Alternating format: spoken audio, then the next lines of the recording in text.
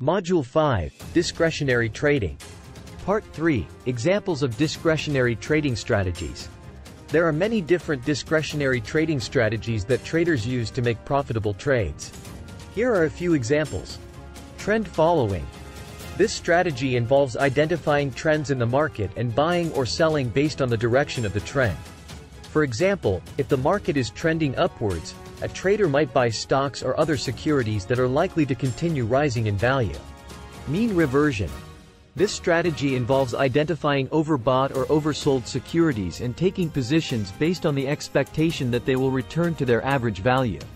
For example, if a stock is currently undervalued, a trader might buy it with the expectation that it will eventually return to its average value. Breakout trading. This strategy involves identifying levels of support and resistance in the market and taking positions based on breakouts above or below these levels. For example, if a stock is trading within a certain price range, a trader might buy it if it breaks above the upper limit of that range, with the expectation that it will continue to rise. Event-driven trading. This strategy involves taking positions based on specific events or news announcements that are likely to affect the market. For example, if a company announces positive earnings results, a trader might buy its stock with the expectation that its value will increase. Swing trading. This strategy involves taking positions based on short-term market fluctuations, typically holding securities for a few days to a few weeks.